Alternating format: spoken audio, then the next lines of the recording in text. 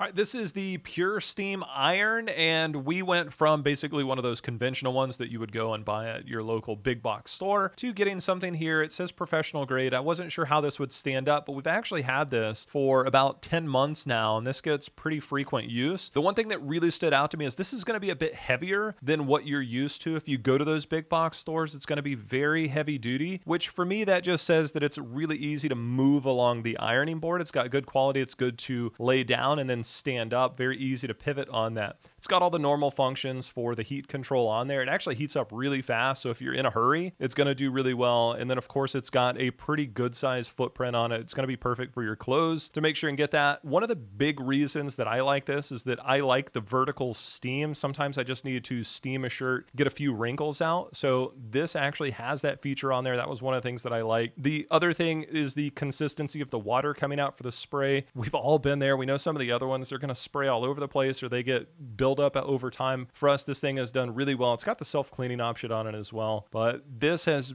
been an overperformer, if you will, for us. So if you're looking for a new iron or to replace something and you're looking for something that has a good price point and really high quality, the PurSteam one has actually worked out really well for us.